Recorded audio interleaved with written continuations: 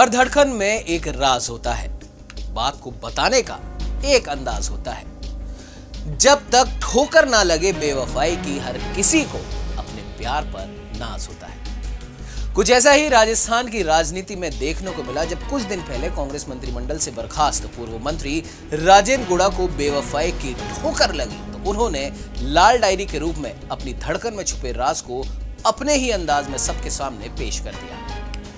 नमस्कार, मैं हूँ आपके साथ उमंग माथुर और आप देख रहे हैं नवतेज टीवी। जी हाँ राजस्थान में अब से कुछ ही महीनों में विधानसभा चुनाव होने हैं। ऐसे में प्रदेश की दोनों प्रमुख पार्टियों ने अपने अपने तरकश के तीर तैयार कर लिए हैं और अब उन्हें चलाना भी शुरू कर दिया है। लेकिन इस बार के चुनावों में एक प्रमुख बात यह देखने को मिल रही है कि दोनों ही पार्टियाँ एक दूसरे के खिलाफ इतना नहीं बोल रही जितना इनके लोग आपस में एक दूसरे के खिलाफ बोल रहे हैं। राजस्थान में कांग्रेस की सरकार बनते से ही पार्टी की अंदरूनी कलह खुलकर सामने आई थी। पायलट और गहलोत गुट, आपको जानकारी के लिए बता दें कि आपस में ऐसे उलझे कि प्रदेश को होटल वाली राजनीति भी देखने को मिली, और ऐसे में तारीख आई 13 जून 2020 जब गहलोत के सबसे ज़्यादा विश्वसनीय से फैसला आरटीडीसी चेयरमैन धर्मेंद्र राठौड़ के घर पर पड़ा इनकम टैक्स का छापा। केंद्रीय रिज़र्व पुलिस बल के सिपाही राठौड़ के घर पर और उसके आसपास तैनात थे और कहने वाले तो ये भी कहते हैं कि सुरक्षा का घेरा इतना मज़बूत था कि कोई परिंदा भी पर नहीं मार सकता। खैर, छानबीन पूरी हुई, इनकम टैक्स की टीम भी लौट गई। और बीते कुछ महीनों की अगर बात करें तो हमने गहलोत सरकार के अभी तक के कार्यकाल में सरकार की उपलब्धि का जश्न भी देखा और सरकार के खिलाफ सड़कों पर विपक्ष का हुजूम भी देखा।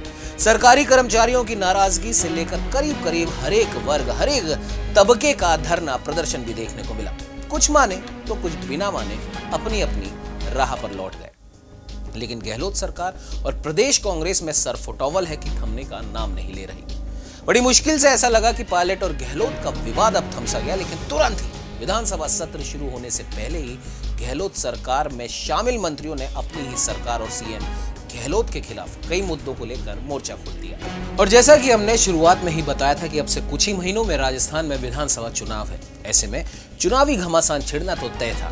तो आपको जानकारी के लिए बता दें, बैठे बैठाए विपक्ष को थाली में सजाकर कांग्रेस के ही पूर्व मंत्री राजन गुड़ा ने एक ऐसा मुद्दा दे दिया जिसने विपक्ष के लिए मानो संजीवनी का काम कर दिया। भाजपा के लगभग सभी छोटे बड़े नेता ने राजस्थान की गहलोत सरकार को चारों ओर से घेर लिया और महिला अत्याचार और लाल डायरी भाजपा के हरेक प्रचार अभियान का मुख्य हिस्सा बन चुकी है।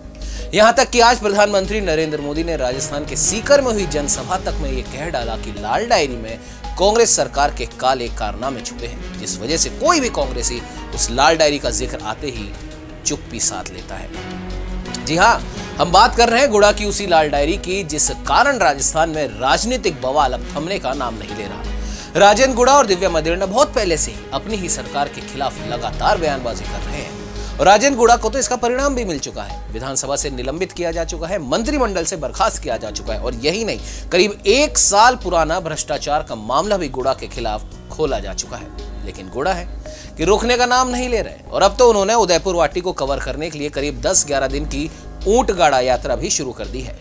उनका कहना है कि उन्होंने जो भी कहा है, वो उससे पीछे नहीं हटेंगे। तो ये तो रही गुड़ा और उनकी लाल डायरी की दास्तान।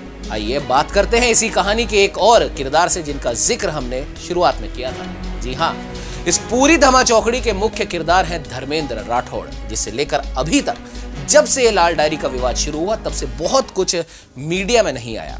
हालाँकि इसके कई कारण हो सकते हैं, लेकिन फिर भी राठौड़ की तुरंत कोई प्रतिक्रिया ना आना दाल में कुछ काले की ओर इशारा कर रहा है। और अब देखने वाली बात यह है कि पायलट के साथ विवाद हो या सीएम गहलोत के कोई और मुसीबत, हर बार संकट मोचक बने धर्मेंद्र राठौड़ आखिर अभी तक चुप क्यों थे? और एकदम से गायब कहाँ हो गए थे? और आए भी? तो सिर्फ़ इतना कह दिया कि घोड़ा मेरे घर ज़रूर आए थे, पर मेरी डायरी, जो कि लाल नहीं थी, इनकम टैक्स विभाग अपने साथ ले गया था। और गुड़ा के तेवर देखकर ऐसा लगता है कि वो बीजेपी का मोहरा बनकर काम कर रहे हैं। अब क्या लगता है आपको क्या वाकई में उस लाल डायरी में कुछ था? या लाल डायरी है भी या नहीं? क्योंकि कहने वाले तो यहाँ तक भी कह रहे हैं कि डायरी में उन सभी वित्तीय लेन देन का विवरण है जो दो नंबर में हुए थे। क्रिकेट एसोसिएशन चुनाव राज्यसभा के लिए किसे पैसा दिया गया? राजनीतिक संकट के दौरान किस विधायक को कितना पैसा मिला? ये सब इस डायरी में मौजूद है। बहरहाल धर्मेंद्र राठौड़ का एकदम से शहर से नदारद हो जाना कई सवालों को जन्म देता है। इन सवालों के कब मिलेंगे जवाब ये तो अब वक्त ही तय करेगा। तब तक दीजिए इजाज़त नमस्कार।